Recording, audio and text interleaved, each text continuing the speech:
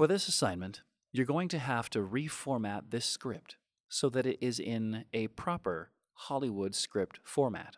I'm not ready for this. To do that, we are going to have to change eight things. The first of which is the margins. Margins are the space around the text. There's a margin at the top, on the left, on the right, and at the bottom.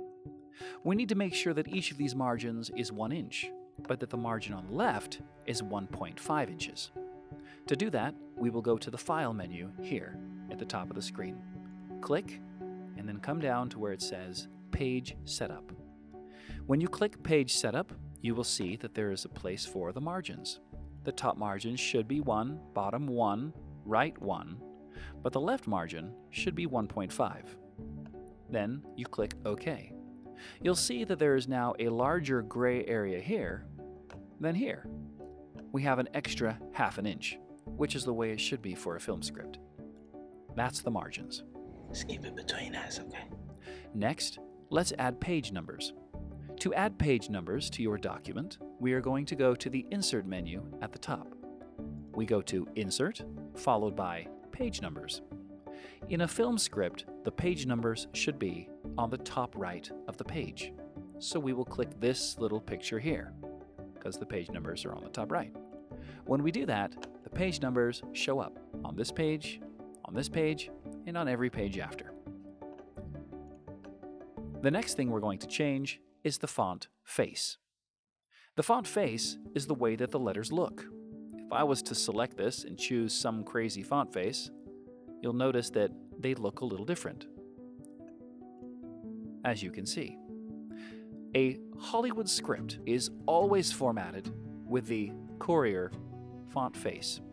So I could select all of this, but it's going to be a little tricky. A nice shortcut is to simply hit Control A for all on your keyboard. A for all. So on your keyboard, take a look at it. At the bottom left, you have CTRL. Stands for Control. You're going to click Control, hold it down, and then tap the letter A. When you do so, it highlights everything. Now, we can go up to our font and choose Courier. Everything is now a Courier font. Bad idea, bad idea. This is a bad idea. If you don't have the Courier font, if it doesn't exist and you, it's just not there, and you only have Courier New, by the way, don't choose Courier New. If you don't have Courier, you can come up to the top here and choose More Fonts. Again, that's where the normal font place is, but at the top it says More Fonts. And now there's actually lots of other fonts you could choose from. I recommend typing in C O U, and you'll see Courier show up. Just make sure it's checkmarked and click OK. Now you can select Courier as your font. The next thing we're going to change is the font size. Now, if you haven't deselected anything, you can simply click the plus button and make it size 12, which is what it should be. Or if you have declicked, hit Control A again and make sure that you select 12. The pluses and minuses work just fine, or you can simply click the number and choose what you want. In our case, Hollywood scripts should be Courier, size 12. The next thing we're going to change is this slug line. A slug line has three parts. The first part tells us if it's inside or outside. INT stands for interior and means inside. EXT stands for exterior and is outside. For this scene, it is interior of a bus and it's in the morning. The second part tells us where it's happening, and the third part tells us the time of day. We are inside, first part, of a bus, second part, during the morning time, which is the third part. Now, to correctly format this, we will select the entire thing. We will choose bold. We also need to make sure that it is all caps or that every letter is capitalized. To do that, easily, we can go to Format, go to Text, select Capitalization, and select Uppercase. Now, the slug line is capitalized and bold, which is exactly the way it should be. Next, let's talk about action lines. Action lines, typically written in the present tense, tell us what is happening on screen. Miles and Gwen sit next to each other. Gwen holds the broken device the goober, in her hand. Peter is asleep. This is telling us what's happening. It's called an action line. They are left aligned, and we don't really have to change them. To be left aligned means that they are all pushed to the left side of the page. To be center aligned would put them in the center. To be right aligned would push them to the right. To be justified makes it so that they go all the way from the left to the right. Action lines should be left aligned, just like this. Dialogue is when a character speaks. This is Gwen, and she says, He broke this? Now obviously, to make sure our English is correct, we should capitalize he. Gwen says, He broke this? but now let's make sure we format this the way it should be on a Hollywood script. To do that, we need to make sure that the line Gwen says He broke this? is below Gwen's name. So I'm going to click before the he and delete this extra stuff and then hit enter. We now have Gwen followed by he broke this. I'm then going to make sure that the word Gwen is capitalized. I do that by going to format, text, capitalization, and uppercase. Now, I'm going to make sure that Gwen, now that it's capitalized, I'm going to move it to the center, right here. By clicking center, it moves the word Gwen to the dead center of the page.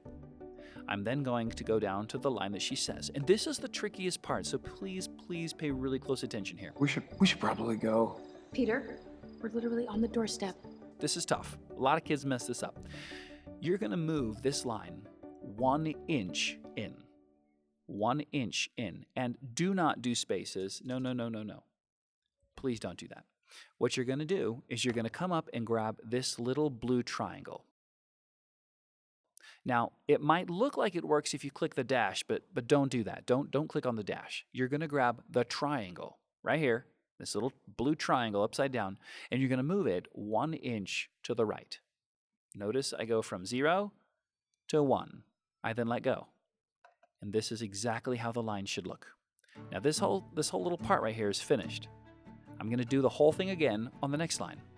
Miles, we have this space and dash thing we're going to get rid of, and we're going to move it down. We do need to make sure that the Y is capitalized so that our English is correct. Also, this H should be capitalized because it's the beginning of a sentence. Also, this S should be capitalized because it's the beginning of a sentence. And now, we're going to take the word miles and we're going to double click on it and we're going to make it all caps. I do that by going to Format, Text, Capitalization, Uppercase. Miles is now all caps. I can then move Miles to the middle of the page, right here. Click. Now I'm going to take this Yeah, he's actually really embarrassed about it, so. whispering. Just keep it between us, okay? So I'm going to take this line and I need to move it one inch in. I do that by taking this blue triangle and moving it one inch to the right. Notice it's moved this entire line over. So with a triangle over here, everything is over here. With a triangle over here, everything matches this dialogue line. It should look like an obvious dialogue line where all the dialogue starts. All right, let's just do one more and then I'm going to let you go. I'm going to double click Gwen.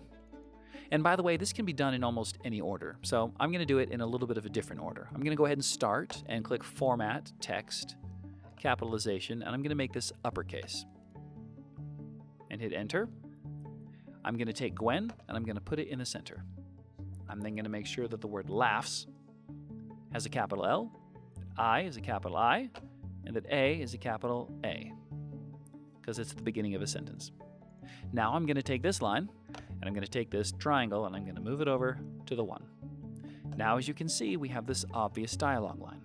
The next line, Gwen and Miles smile at each other, is not dialogue. So it's going to stay on the left as an action line. But this next line, Miles, I'm sorry about your friend.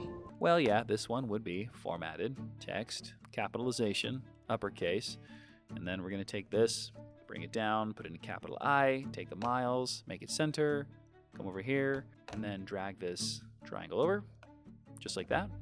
So obviously an obvious dialogue line, and then here we have this action line. The last of the eight things on our list is titles. Sometimes you won't even have these. Titles refers to text that shows up on the screen, like here. You simply write the word title, have a colon, and then you write down what you want to say on screen. Ladies and gentlemen, I hope that this helps.